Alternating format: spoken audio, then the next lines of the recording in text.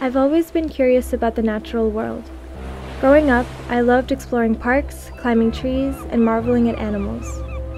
I was born in India, and my parents moved us to the States when I was barely four years old. Education has always been important in my family and culture. When I was 16, I applied to college to study computer science, but it wasn't until I had taken an environmental science elective that all the curiosity I had when I was younger came back to me. After that, I knew I wanted to pursue this field as a career.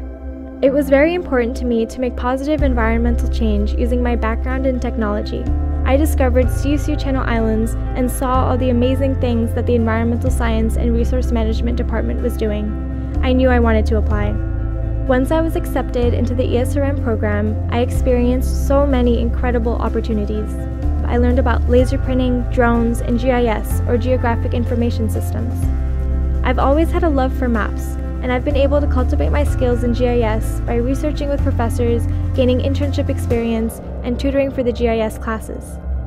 I'm also a part of environmental clubs that work to make our campus more environmentally aware by hosting cleanups, providing sustainable products, and renovating our school garden. ESRM classes have also taken me to the actual Channel Islands, Yosemite National Park, Owens Valley, several beaches along the Southern California coastline, and even Hawaii.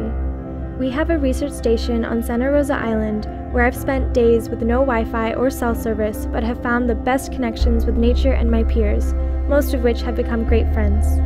One of my favorite experiences has been researching humpback whales in Maui with the Keiki Kohola project. This strengthened my love for my major and my relationship with my peers. It made me believe that real change could be made. That following summer, I performed research with my professor through the university using drones and GIS for wildlife conservation, studying endangered and threatened birds on a local beach. This turned into my ESRM capstone project, which is our year long senior thesis. As I finish up my capstone and get ready to graduate from CI, I have made many wonderful memories to look back on.